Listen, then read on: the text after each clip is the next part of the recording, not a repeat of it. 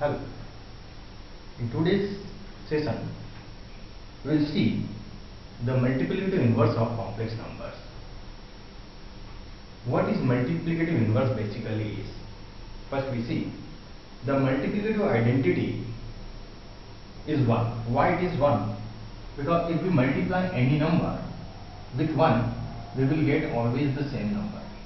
It will not it will not lost its identity if you multiply with number. Any number will not its identity uh, will not lost its identity if you multiply with 1. Any number. So it is the multiplicative identity is 1.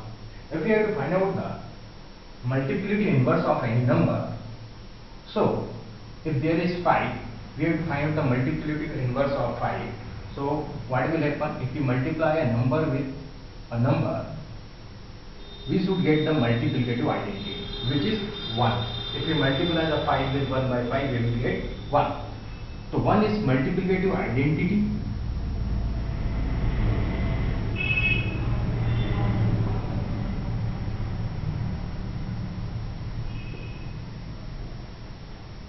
Here also. Here also. And 1 by 5 is the multiplicative inverse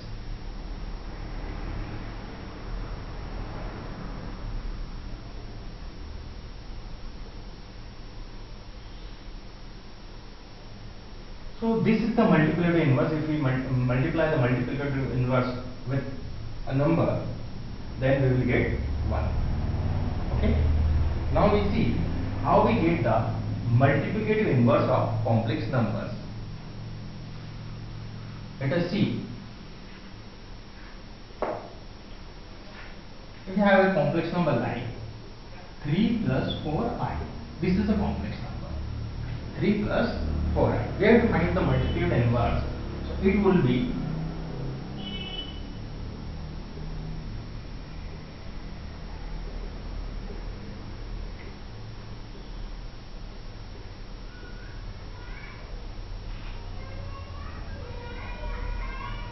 multiplicative inverse of z is equal to 1 by z.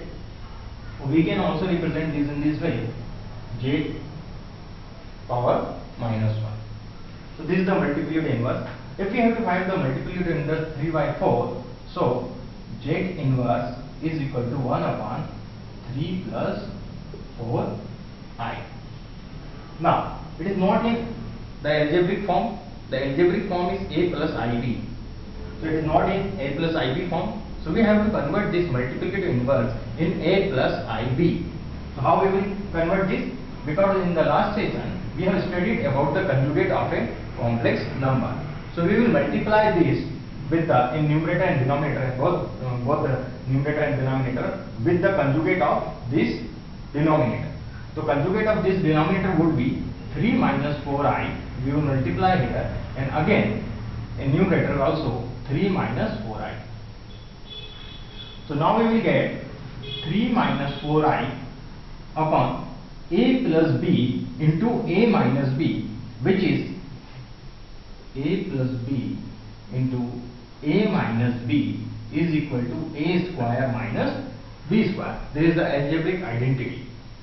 So we will get 3 square 9 minus 4i square. So 4 square 16 and i square. So what you will get 3 minus 4i 9 plus 16 because the minus uh, because the i square is equal to minus 1. So I write here again. I don't split the terms. I will explain in this.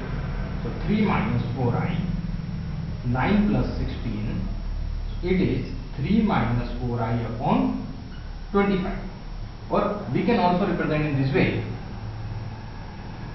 z inverse is equal to 3 upon 25 minus 4i upon 25. This is the multiplicative inverse of 3 plus 4i. So in this way, we could easily find out the multiplicative inverse of a number. Now, if we have to check, if we multiply z and z inverse, we will get 1. We check it.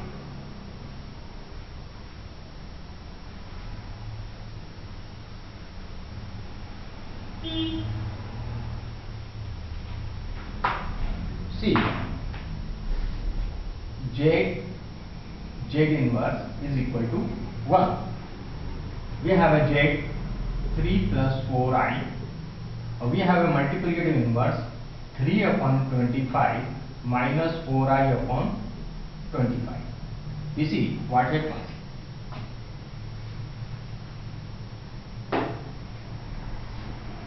Three into three upon twenty-five plus four i, sorry, just a minus four i upon twenty-five. Plus four i into three upon twenty-five. Minus four i upon twenty-five. We see three into three, nine. Upon twenty-five minus twelve i upon twenty-five. Plus 12i upon 25 minus 16i square upon 25. So 9 upon 25 or plus minus, uh, it, it is minus, it is plus. So the both the numbers are same, it will eliminate. So minus 16, i square is again minus 1 upon 25. So why, what will we get? 9 upon 25 plus 16 upon 25. Now see, Z Z inverse is equal to 9 plus 16 upon 25. It is 25 upon 25. It is equal to 1. So this is the